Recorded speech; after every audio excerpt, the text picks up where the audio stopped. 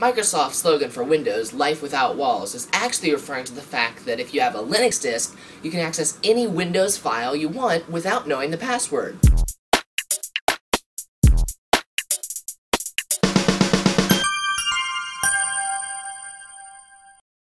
Hey, what's up guys? I'm Jacob Kauffmann, I'm on the Street, and before we even start today, I want you all to boycott Motorola, because I just recorded a 30 minute video, and this thing crashed, and I, I didn't even get the recording. So, screw that, no more Motorola.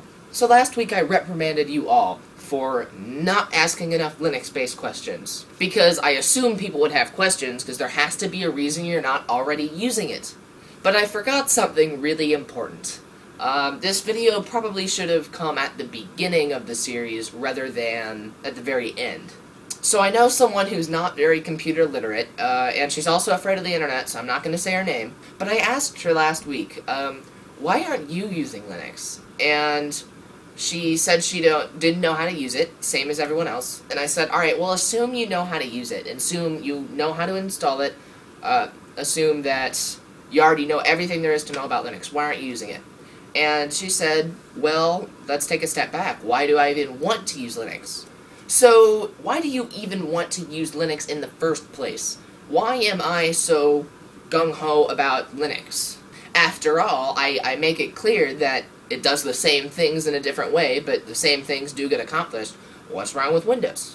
Well, the first thing that's better about Linux than Windows is the fact that it's faster. Speed, speed, speed. Now, this is a little different for different people, depending on how you had Windows set up, what kind of computer you have. But as a general rule, as your computer gets less powerful, the amount that Linux benefits you gets bigger. So even though on my i7 workstation here, uh, Windows and Linux have a marginal difference in speed. On my AMD laptop, per se, um, let's just say that after I switched to Linux, I really wasn't happy about going back to Windows. So if you have a Celeron processor or or a Pentium, then that is a huge reason right off the bat to use Linux. But why is it faster? Well, um, let's use a program for example. Uh, Google Chrome. Now, I love Google Chrome. It's my favorite browser, not because of stability anymore, because Google Chrome has been crashing a lot on all of my devices recently, but Google Chrome is cross-platform. That means that it's on Mac OS, Linux, Windows, Android, iOS, it's on everything. So when you install Google Chrome on Windows, you install Google's program, and you also install the Google Updater. Now, little do you know, that Google Updater is started every time you turn on your computer. So even if you're not using a Google product, Google is still running in the background, taking up resources like RAM, processing power, but on Linux it doesn't do that. Linux doesn't allow startup scripts unless you manually define startup scripts that you want. And there is no Google Updater for Linux because all of your updates are installed with the same program. Which brings me to number two application management. In Windows, Microsoft wants you to use all of their products. Microsoft basically says, okay, here's our operating system. Now you make something for it. So everybody is free to do whatever they want in terms of coding for that operating system. This leads to a lot of inconsistency in how programs look, how they behave, and how they perform. Also, a lot of programs, almost all Windows programs, install something of a startup script along with an updater. Now once again, Linux does not really allow startup scripts, unless you make them yourself. But with Linux, you don't go to a website and download a program. I mean, you can, but that's really not the best way to do it.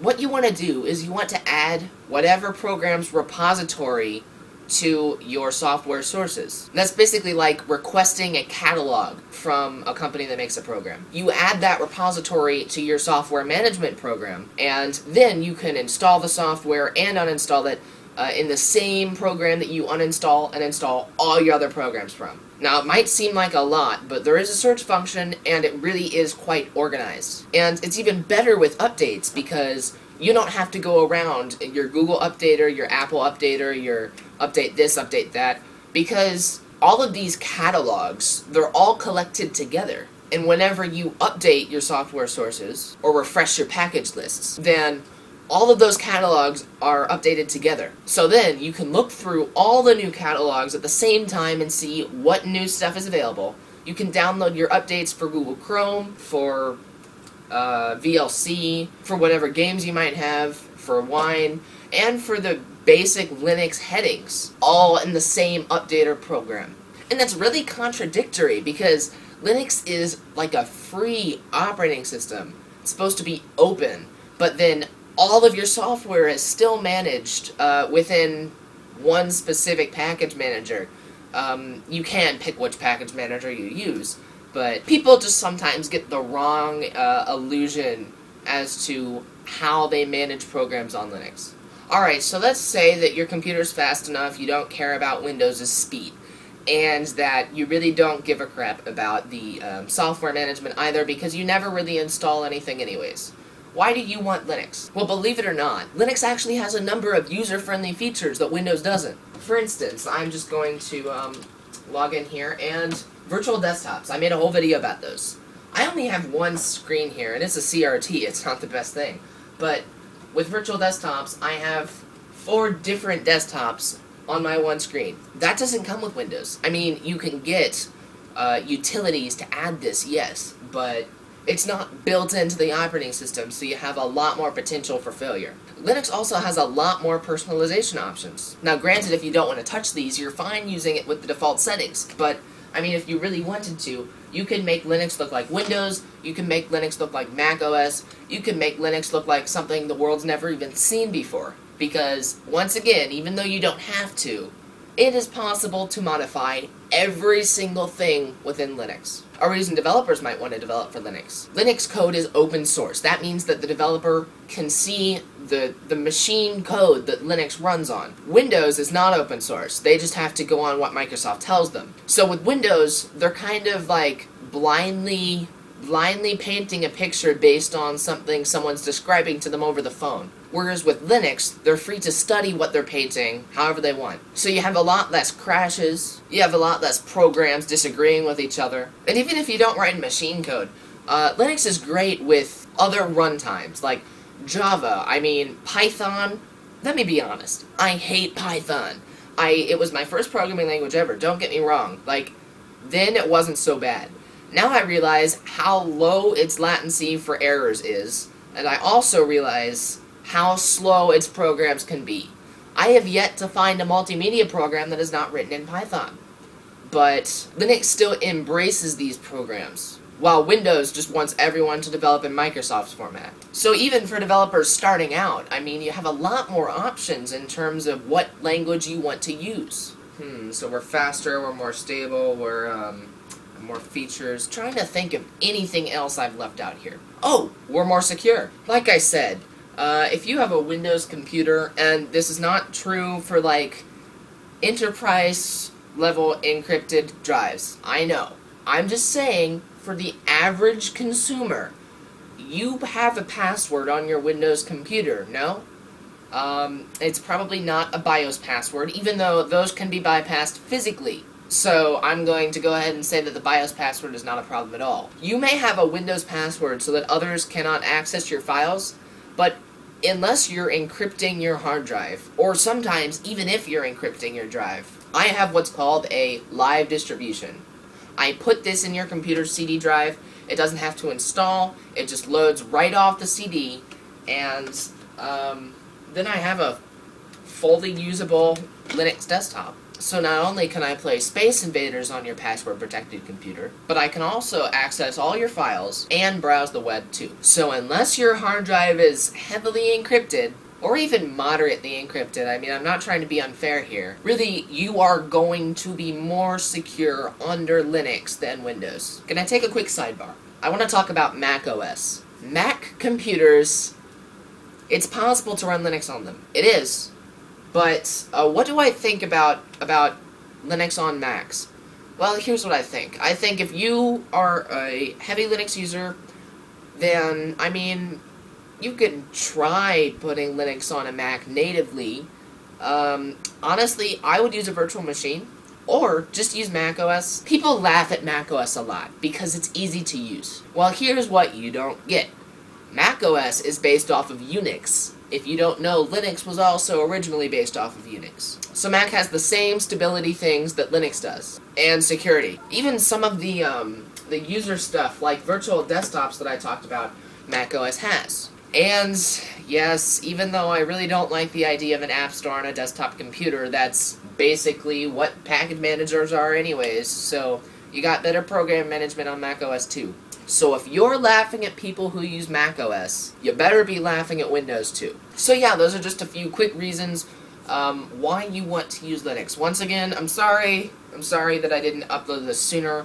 I it just completely slipped my mind that some people don't know the benefits of Linux. So yeah, there you go. Speed, stability, security, and um, just it's it has a lot of great features and a lot of user choice. I mean, Windows, if you don't like it, you can change some settings in the control panel. But Linux, I mean, first of all, let's say that you don't like a certain desktop manager. If you don't like the way that this is set up with a taskbar at the bottom and a start menu at the bottom left and a notification bar at the bottom right, then guess what? You can change it. You can have it to where you have something called an activities menu in the top left and your system time in the top right.